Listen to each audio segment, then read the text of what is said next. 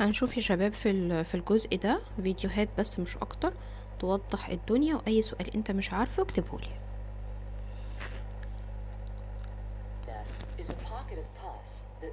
the jawbone. An endodontic abscess is a pocket of pus that forms in the jawbone at the tip of a tooth root. You may realize you have an abscess because the tooth hurts when you tap or bite on it. You have a bad taste in your mouth, or you experience pain and swelling. In some instances, you may have no symptoms at all. An endodontic abscess is caused by an infection of the pulp layer of the tooth.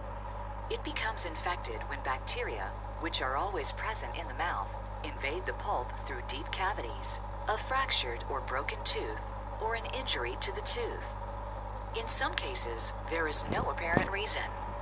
The infection can spread from the pulp chamber, down the root canals, through the tip of the root, and into the jawbone, where the pus builds up and creates a hole in the bone. This is the abscess. The abscess creates pressure inside the bone and on the ligaments surrounding the tooth, and this can cause excruciating pain. Sometimes the abscess drains near the infected tooth, forming a gum boil.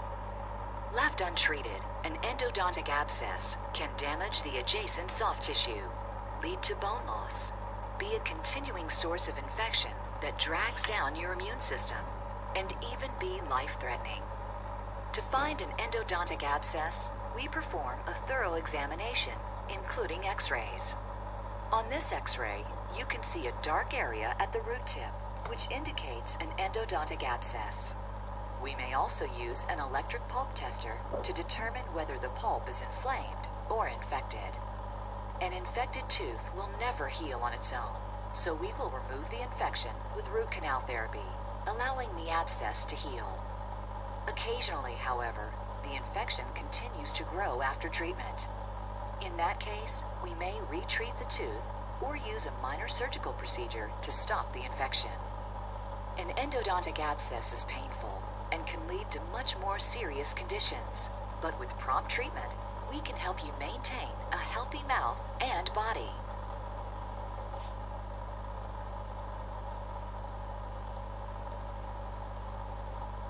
A dental abscess is a collection of pus that can form in the teeth or the gums as a result of a bacterial infection. How does this occur? Your tooth is made up of a hard white protective layer, the enamel, which covers and protects a softer yellow tissue called dentin. At the very center of the tooth is the soft pulp, where blood vessels and nerves are found. Your tooth is attached to the jaw via a strong ligament, called the periodontal ligament. Bacteria are found in plaque, which is a byproduct of food and saliva.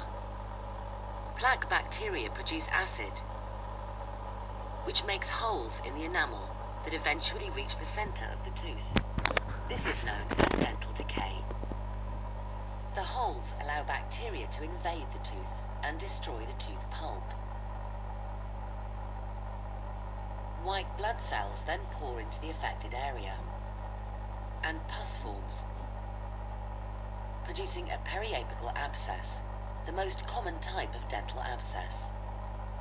A periapical abscess is treated with antibiotics, and a permanent root filling is put in at a later date to prevent further infection. Sometimes an abscess occurs in the supporting tissues around the tooth. This is called a periodontal abscess. It is usually associated with gum disease, when the gums become inflamed and separate from the teeth, allowing bacteria to collect in pockets around the tooth root. Periodontal abscesses are treated with antibiotics and by cutting into the gum to drain the pus. Surgery is sometimes needed at a later date to reshape the gum. The tooth may also need to be extracted as a result of a dental abscess. If left untreated, the bacteria from the dental abscess can spread to other areas, including the nearby bone and the air-filled spaces behind the cheekbones. Infections that spread to the face, brain and neck can be life-threatening, but are rare.